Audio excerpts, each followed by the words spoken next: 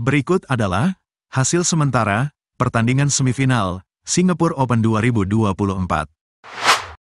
Di semifinal tunggal putri, Gregoria Mariska Tunjung harus kalah dari pemain Korea, An Seyong, dengan skor 14-21 dan 21-23 dalam durasi 42 menit. Chen Yufei berhasil mengalahkan pemain Thailand, Ponpawe Chochuwong, dengan skor 21-12 dan 21-17 dalam durasi 46 menit.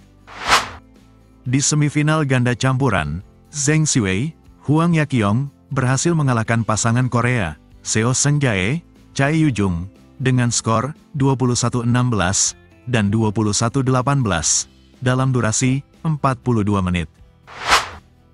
Yang Po Hesuan, Hu Lingfang, berhasil mengalahkan pasangan Denmark, Mats Vestergaard, Christine Bus, dengan skor 21-17 dan 21-12 dalam durasi 36 menit.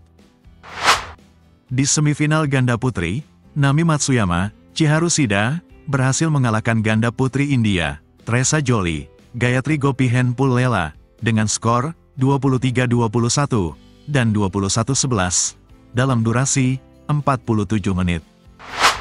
Chen Qingchen, Jia Yifan, berhasil mengalahkan sesama ganda putri China, Liu Shengsu, Tan Ning, dengan skor 21-12 dan 21-17 dalam durasi 42 menit. Sementara itu, Victor Axelsen memutuskan untuk walkover karena masalah cedera ankle yang membuat Li Sifeng otomatis melaju ke final Singapore Open 2024.